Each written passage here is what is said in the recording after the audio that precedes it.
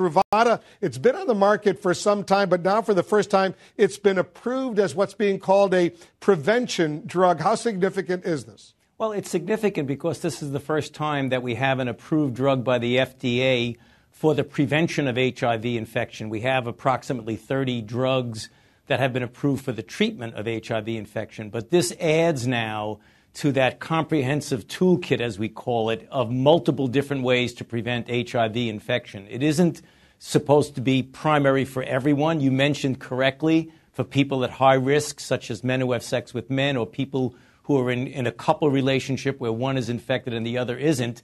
It's not meant as a substitution for other types of prevention, but it is a very important milestone and that is the first time that an anti HIV drug has been approved by the FDA for prevention as opposed to just treatment. As you know, some people are concerned, Dr. Fauci, that it could be an excuse to now engage in un, uh, unprotected sex. Is that a real concern for you? Well, that's always a concern, but there really is a lot of effort uh, when you talk about what is being done in making people aware of the things that they need to do. And the emphasis on the part of the drug company, on the part of the FDA and the CDC about this not being a substitute, that you still need to utilize and implement the other prevention measures. Importantly, you need to make sure that you're not infected when you start on the drug because this is not a drug for treatment. Even though it's used in treatment, it isn't the full component of treatment.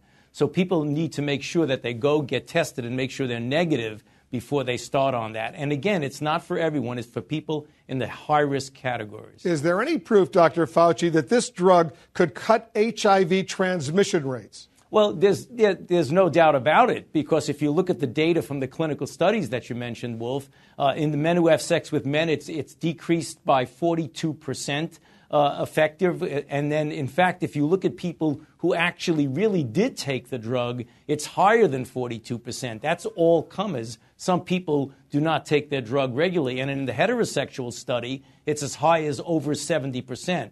So there's no doubt from the clinical studies that if implemented, if people adhere to the regimen of one pill a day, that it will significantly decrease the uh, acquisition of infection on the part of the person who's taking the drug. Will uh, this drug be covered by, let's say, health insurance or Medicare or Medicaid for that matter? Well, I'm not quite sure. Uh, I can't make that statement right now. It was just approved. That would be uh, up to the up to the appropriate uh, agencies to make that decision.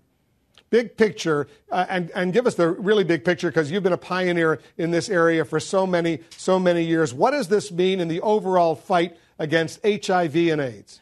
What it really means, uh, Wolf, is that we have another scientifically evidence based mechanism of prevention of infection. If you look at the different ways to prevent infection, there's a whole constellation of them. We refer to it as combination prevention.